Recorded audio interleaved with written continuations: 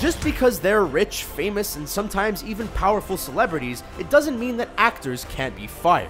They seem to have it all, so it is hard to imagine, but it probably happens a lot more than you'd think. And sometimes it's a lot worse than you would imagine. Say, for instance, that you're an actor who's filmed all your scenes, and the director has a last minute epiphany that you just aren't right for the role. Whether it's a contract problem, money issue, or simply not being a good fit, getting fired is not a fun situation to be in. If you like what you see, check out our YouTube channel for more of our videos. This is healthy. This is good. But in the meantime, check out these 10 actors who were fired during production. And before we start, can you guess this movie from these emojis? Stay tuned for the answer at the end of our video. Edward Norton in The Avengers.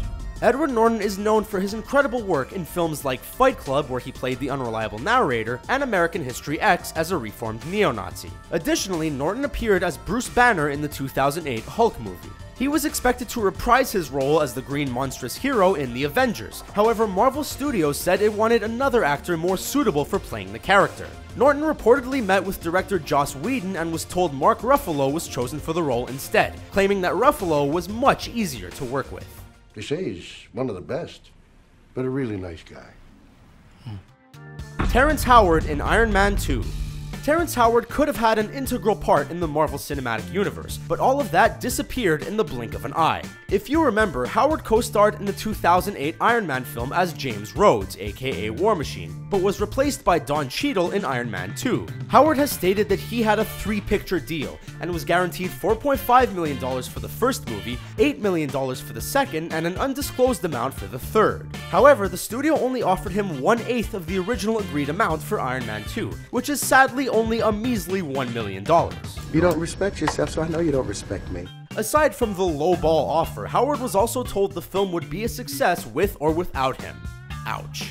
It's nice seeing you, Tony. Stuart Townsend in Lord of the Rings. Stuart Townsend is undoubtedly a talented actor, but he just hasn't landed a role that earns him an A-list status. This could be because he's missed a few major opportunities. The biggest came when, after months of intense training and preparation, he was fired from the role of Aragorn just as filming was commencing on Lord of the Rings The Fellowship of the Ring. At the very last minute, director Peter Jackson decided that the 26 year old Townsend was too young for the role and replaced him with Viggo Mortensen. Unfortunately, Townsend missed another big opportunity when he dropped out of the Marvel blockbuster Thor. Oh god, I can't even tell you how much I'm not your little bunny. Megan Fox in Transformers.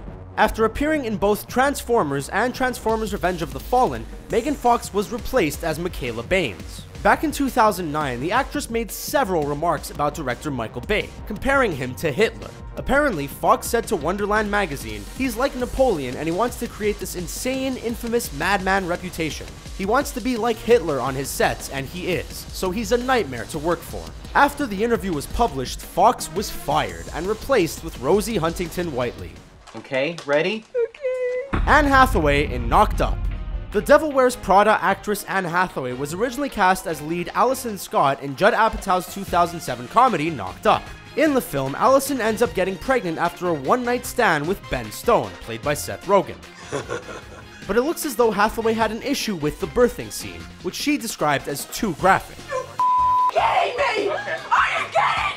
In the end, Apatow decided to let Anne go and replaced her with Katherine Heigl. Get out! Oh Dougray Scott in X Men. You can't mention X Men or Wolverine without picturing Hugh Jackman's face. But it would surprise you to know that he was not the first choice for the role. Russell Crowe was originally eyed for it, but his salary demands were too high. Next, Dougray Scott was cast as Logan. However, playing Wolverine required a sequel, and Scott's conflicting schedule with Mission Impossible 2 made it quite literally an impossible mission. So the role was instead given to Hugh Jackman. Sean Young in Batman. Kim Basinger embodied the character of Vicki Vale in Tim Burton's 1989 Batman flick. It was like the actress was made for the role, but she wasn't actually the first choice. Sean Young was initially set to play the journalist. Unfortunately, the Blade Runner actress could not continue on in the role after she broke her arm from falling off a horse in rehearsal. Ryan Gosling in The Lovely Bones. In Peter Jackson's 2009 film The Lovely Bones, Ryan Gosling initially earned the part of Jack Salmon. Gosling decided he needed to gain weight to play the grieving father, and put on 60 pounds by melting Haagen-Dazs ice cream and drinking it. When Gosling arrived on set the first day, Jackson was all but impressed. The two apparently had different ideas of what the character should look like, and in the end, Gosling was replaced by Mark Wahlberg. Who are you? Who? Who is but the form following the function of what, and what I am is a man in a mask. James Purefoy in V for Vendetta. James Purefoy was originally cast in the role of V in the 2005 film adaptation of the 1988 DC Vertigo comic series V for Vendetta. About six weeks into filming, Purefoy complained about wearing the mask, saying he couldn't do it for the entire film. Ultimately, this led to him being replaced by Hugo Weaving, and the rest is history. Amanda Seyfried in As the World Turns.